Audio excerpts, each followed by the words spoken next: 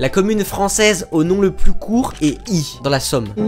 Et ses habitants sont les Ypsiloniens. Moi j'ai qu'une seule question, pourquoi? D'ailleurs en France, il existe des dizaines de communes au nom insolite, comme Chat en Isère, Gland dans Lyon, Vulvos dans le Jura, on dirait le nom d'un Pokémon, mais pas que. Ne changez pas les noms, hein, c'est majestueux, mais encore, pourquoi?